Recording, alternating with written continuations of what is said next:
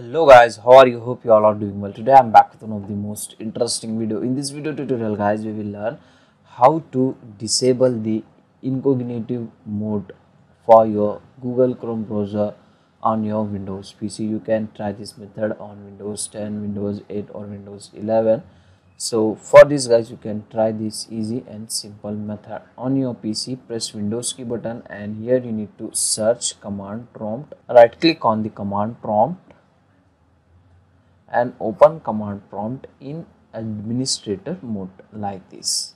And here guys you need to execute one command. You can get this command in my video description box. Just simply you need to copy this command like this same as it is you need to copy and paste it here. And then press enter from your keyboard.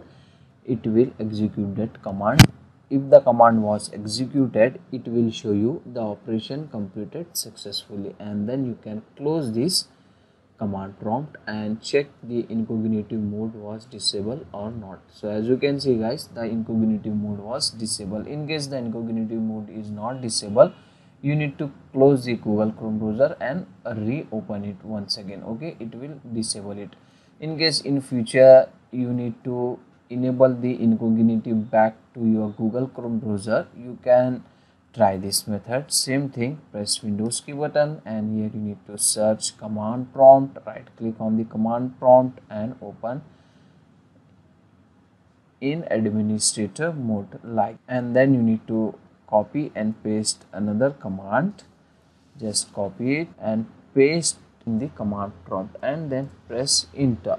And it will show you value incognito mode availability exists overwrite yes or no? And here you need to type yes and then press enter. Okay like this. And close this command prompt and check your incognito will back on the browser. It will enable. Okay so these are the easy and simple method to disable the incognito mode for your google chrome browser on windows pc so that's it today guys. Hope you enjoy this video. If you enjoy please guys like share and subscribe to our channel. Thank you very much